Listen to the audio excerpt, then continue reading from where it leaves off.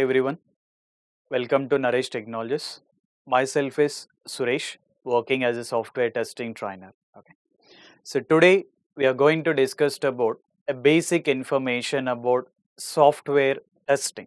What exactly mean by software testing? As part of software testing, what we have to be learn, we are going to understand about that particular details. Let's get started. Right. The very first activity most of the people will have any confusion that testing means we can test each and everything. But if I'm taking with IT environment, we are getting understanding about in implementing with software testing. So we are not doing any of the hardware testing. Hardware testing is totally different and software testing is totally different. As part of to start our career in the software industry, this is one of the easiest course to get come into the IT environment here. If I'm taking with software testing, what exactly mean by this software testing? Let's understand on it. The simple example is client has been given some requirements. We need to be take that particular requirements and we have to be tested whether developer has been done with the development according to the client requirements or not. Simple definition of the testing is testing an application based on client requirements. Everyone they will be having their own definitions here, but the simple understanding is testing an application based on client requirements. So we are testing the application by referring with client requirements here. So while doing the testing, we got two types of testing or in general, we can get follow two approaches, okay. To get implement with the software testing, we can get implement with two approaches here. In that, one will be mentioning that manual testing, one will be mentioning that automation testing. Okay. To perform the testing activities, we are taking with one approach is manual testing, another approach is automation testing. Both are testing only, both are testing only, but the difference is manual testing, we are doing the testing, automation testing also, we are doing the testing. Both are testing only, but the difference is in case of manual testing need to be do it with the help of human interactions. That means we have to be open application, we have to be enter the data, we need to be get enter username, we need to be get enter with the password. Everything need to be do it with the help of human interactions here. If I am taking with automation testing, Hmm. doing with the help of tool here. Both are testing only, manual testing, we are making sure that application is working fine. Automation testing, we are making sure that application need to be working fine. In case of manual testing, we have to be do it. In case of automation testing, tool has to be do it here. Okay. In case of manual testing, whenever we are doing with the testing course or as part of manual testing, what are the things we have to be learn? Let's see that. To get implemented manual testing, the first activity, the first activity is understanding with requirements here, okay. The very first activity we have to be do is, we need to be get understand with client requirements any of the things you are not getting tested by your own here. First you have to be go through that what are the requirements given by the client. You need to be referred that particular requirement documents and need to be understand that what are the things you have to be tested. To understand that what are the things need to be get tested, you can refer different documents. One is BRS, another one is SRS, another one is FRS. Still if required, we can refer with mockups, nothing but screenshots here. So by referring these particular requirement document as a tester need to be get understand that what are all the functionalities we have to be get tested here. Once we are clear about requirement documents then we have to be come up with one particular plan to get implemented all our testing activities. Once test plan has been completed, once test plan has been completed, based on this requirement documents, by referring requirement documents, we have to be prepare test scenarios. Once test scenarios has been prepared and reviewed and approved. First as a test engineer, you are writing with the test scenarios. Once you are writing the test scenarios, lead has to be take care about it. Taking with the review, we got in a different reviews, peer review or senior engineer review or team lead review. Once lead got reviewed it and approved it, then we need to be get started getting writing with test cases here. Okay. First you are understanding the requirements, coming up with the one plan, preparing the test scenarios and preparing with test cases here. Once test cases got completed, again reviewed and approved, then need to be get started with next step mentioning about test execution. Need to be take with test execution. Whenever you are taking with executing the test cases, you need to be get compare with expected result and need to be take with actual result. While executing the test cases, we need to be get compare expected result and actual result. If both are matching it, we'll consider test case has been passed. If both are not matching it, we'll consider test case has been failed. In case of test case has been failed, as a tester, we need to be report and a defect that we will be mentioning about defect reporting. Once we got report and a defect, it will get assigned to developer.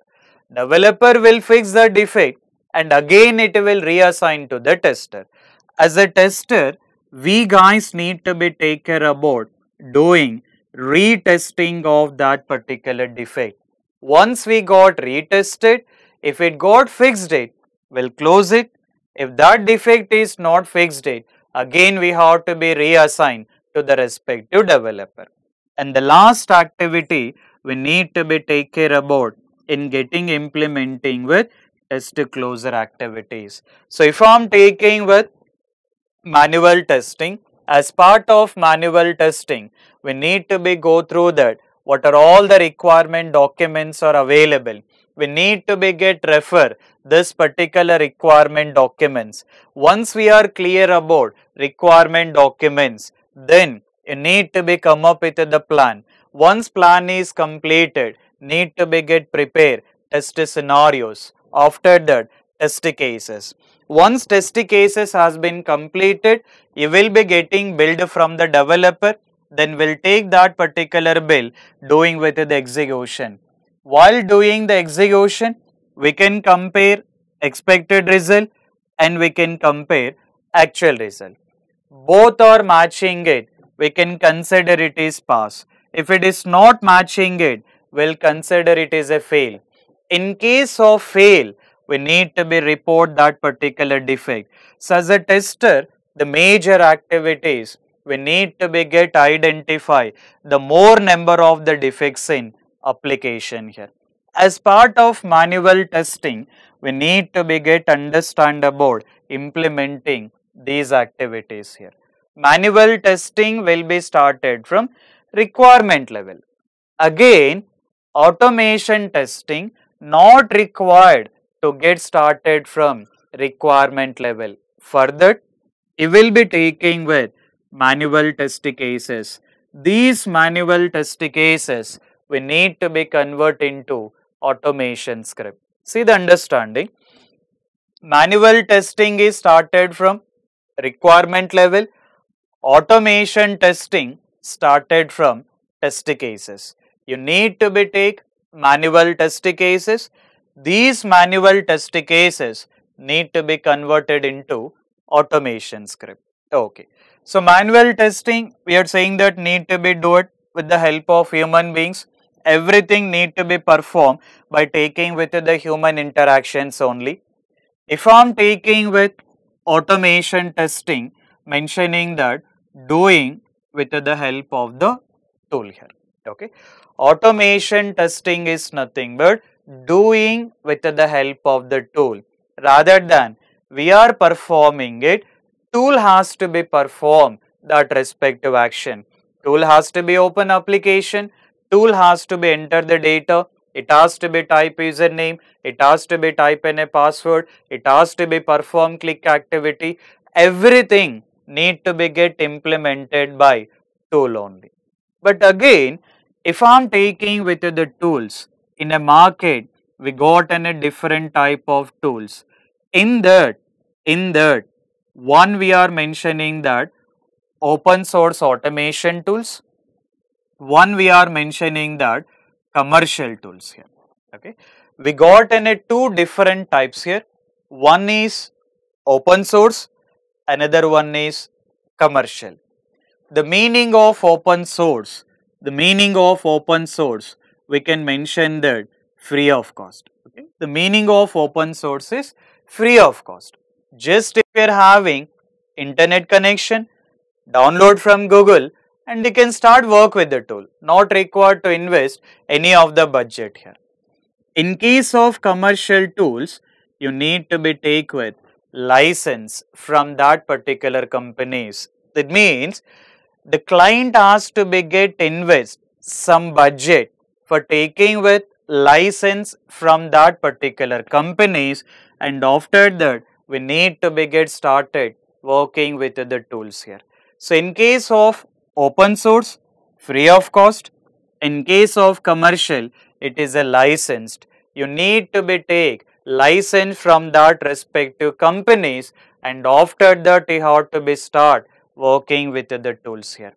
In a market we got in a different type of open source tools and different type of commercial tools here. If I am taking with commercial tools, most example, one you will be taking with QTP and it is considered as a UFT also. Previously, we used to be considered as a QTP. We are getting advanced version that we are taking UFT. For UFT, we got an advanced version is Lean FT here. First is QTP and then UFT and then Lean FT. If you want to be work with the QTP, first you have to be take license from the respective companies and after that you have to be start working with the tool here. Another one is mentioning about taking with RFT. We got in a one more tool mentioning about taking with test complete.